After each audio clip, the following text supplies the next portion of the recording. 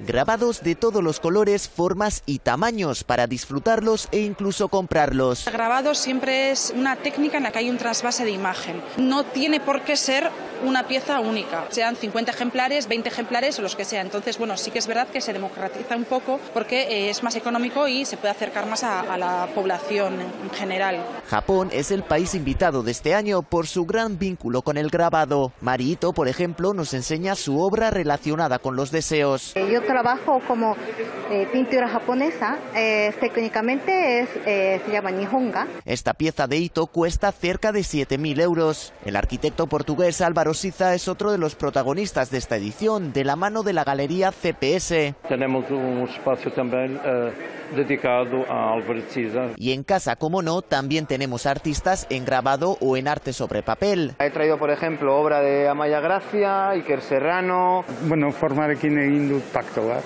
desagerrizioarena, eta horregitik koloreal izan dut landu. Esta galería bilbaína, por ejemplo, expone obras de Agustín Ibarrola en homenaje a la figura del recientemente fallecido artista vizcaíno. Valga la pared que hemos traído con sus obras como homenaje para, para él. Además de la compraventa de grabados, también se ofrecerán exhibiciones de estampación en tórtulo, mesas redondas, visitas guiadas o espectáculos musicales desde hoy y hasta el domingo en el Palacio Euskalduna de Bilbao.